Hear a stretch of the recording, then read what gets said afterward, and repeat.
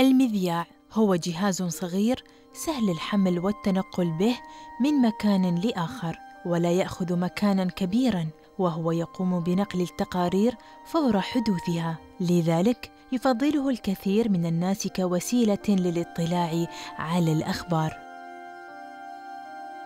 قام إلكسندر بوبوف باختراع المذياع في عام 1895 وذلك من خلال اختراع جهاز لاستقبال الذبذبات والموجات الكهرومغناطيسية وأطلق عليه مسجل الرعد ثم أصبح بعد ذلك يسمى بالراديو أو المذياع.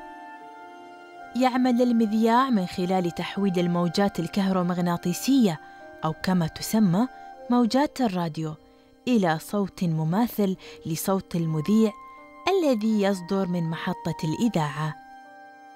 يتكون المذياع من هواء يقوم بالتقاط الإشارات اللاسلكية ويحولها إلى إشارات كهربائية، ثم تنتقل الإشارات الكهربائية إلى دائرة مكونة من مكثف هوائي ومكبر للتردد العالي والمذبذب.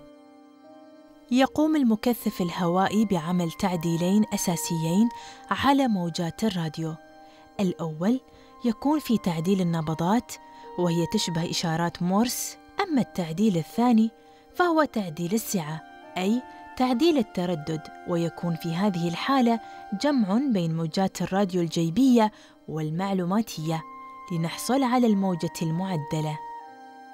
كذلك يعمل المكثف على انتقاء المحطة التي يريد الشخص سماعها ويمنع حصول أي تداخل بين المحطات المختلفة والتي لها ترددات متقاربة ثم يتم تكبير هذه الإشارة الصوتية ليصل الصوت.